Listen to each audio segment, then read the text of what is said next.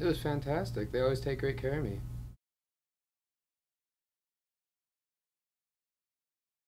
Well, they're wonderful. The, thing that I like the most is that they actually ask me, um, um, "Do you have this amount of time?" And also, when they're done, they tell me what else they suggest I get done real quick. And that's very important.